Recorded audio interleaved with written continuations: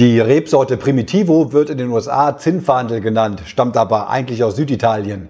Die Primitivo-Weine zeigen in jedem Anbauland eine andere Stilistik. Angelo Rocca zeigt uns mit diesem Realzinnfahndel, dass man auch in Italien einen Primitivo mit kalifornischem Touch machen kann. Denn dieser üppige Zinfandel ist der perfekte Spagat zwischen alter und neuer Welt.